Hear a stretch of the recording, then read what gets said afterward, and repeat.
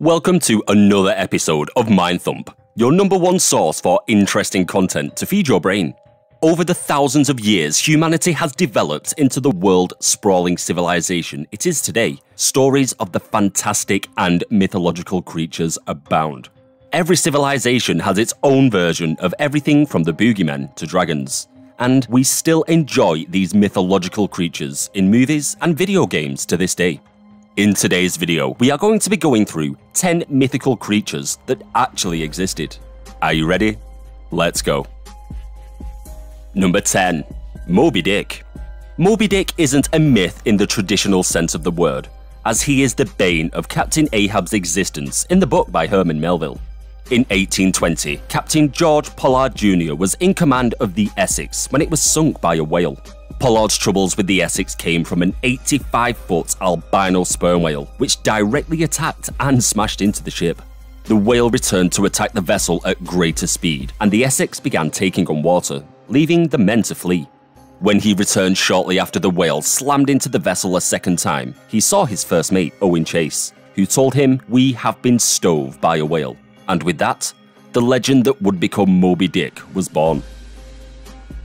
Number 9 direwolves. In games like Dungeons and Dragons, or television series such as Game of Thrones, direwolves have been depicted as gigantic wolves capable of easily taking down a large man. They are often described as vicious, hard to train, and efficient killers. But the myth of the direwolf doesn't exactly line up with reality.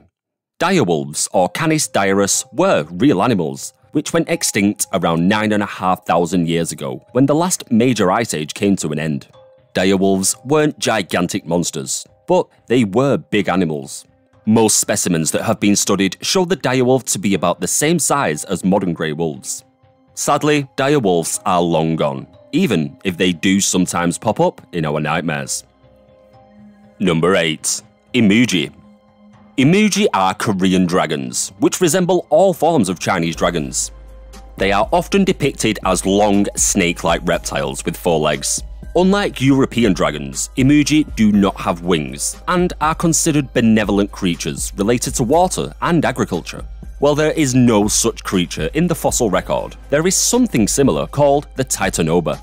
Titanoboa was the largest snake to ever slither across the ground, and various specimens have been found indicating they could grow up to 42 feet in length and weigh as much as 2,500 pounds. Like most dragon myths, the Imuji likely arose from ancient people who found bones belonging to the extinct species. Korean findings that give rise to the myth of dragons likely came from marine reptiles or dinosaur fossils. Number 7. Dragons. Dragons are one of the most pervasive creatures in all of mythology. In nearly every depiction, a dragon is a large serpentine creature with four legs and two wings almost all dragons can fly, and many of them breathe fire. There isn't a common consensus regarding how cultures from all over the world came up with dragons, but theories are suggesting ancient people found dinosaur fossils, and these were the inspiration for these gigantic beasts. The bones of misunderstood fauna that were extinct at the time could have led to similar conclusions. There are contemporary animals that could have served as a source for dragon inspiration, such as the Komodo dragon, iguanas, alligators, Gila monsters, and other large reptiles. Number 6. Rocs. The roc is an enormous bird of prey found in mythology originating in the Middle East. The giant bird was popularized in various fairy tales and folklore from the region, and there's a roc in 1001 Nights, as well as many other popular stories. Descriptions of the roc vary somewhat, but in most, it's an eagle large enough to pick up an elephant. The roc as it has been described didn't likely exist, but there are analogues in the fossil world, which could easily have given birth to the myth. One such creature was the elephant bird of Madagascar, though the myth could have easily been born by sailors' accounts of large eagles capable of carrying off newborn lambs. Number 5. Griffins. The griffin is a mythological beast which has the body, tail, and hind legs of a lion, while the wings, forelegs, and head are that of an eagle.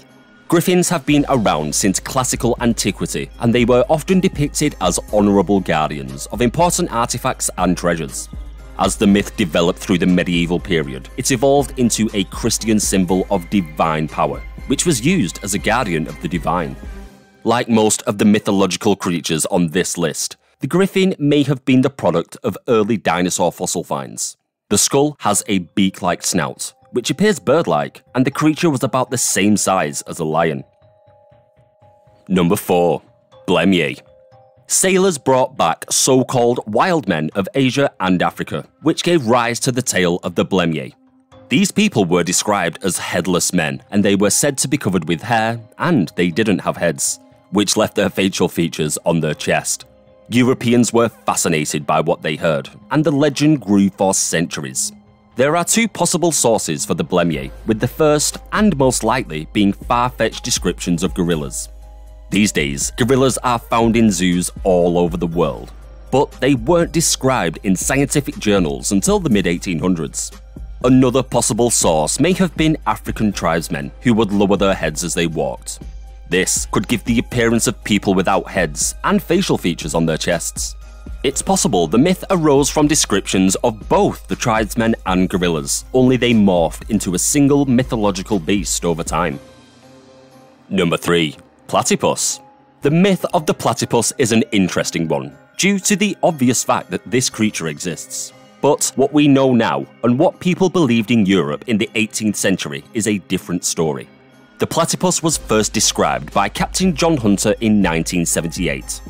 Hunter sent a platypus pelt and a sketch of the animal to Britain, which was a common thing for sailors and naturalists to do when they found a new species. Unfortunately, the naturalists in Britain didn't believe the animal could possibly exist, and as a result, a myth grew surrounding a very real animal. The platypus is such a strange animal that its first description in scientific literature came with a caveat regarding its authenticity, which makes perfect sense when you think about it. Number 2. Kraken. The Kraken is a massive and mighty creature from deep beneath the sea that pulls ships down to the depths with its mighty tentacles. It is often described as a massive creature that resembled a floating island, or was so large its tentacles could pull entire vessels under the sea. Sailors have been describing strange creatures for millennia, and whilst most beasts described by them over the years proved to be wildly inaccurate, not everything was.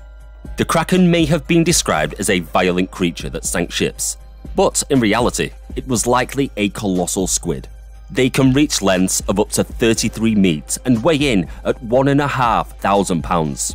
They have strong tentacles, which are filled with suction cups like other squid and octopuses. But these nasty buggers feature large hook claws, giving them a grabbing advantage over others of their kind. Number 1. Unicorns. Unicorns are white horses with a large spiraled horn sticking out from their foreheads. They are often associated with magic and have been described for most of history throughout many world cultures. The myth of the unicorn has evolved over time from various descriptions of real animals, and most likely, sources in European history stems from Pliny the Elder's description of the rhinoceros. Over time, this description morphed through tall tales into the unicorn. But another source in Europe also helped push the belief of this majestic beast. Norse Vikings would take narwhal tusks to Europe and sell them to people as unicorn horns. Because they had never seen a narwhal or a unicorn, the explanation worked, and people traded in so called unicorn horns for centuries. That brings us to the end of today's list, all about 10 mythical creatures that actually existed. Which of the entries on today's list did you find the most interesting?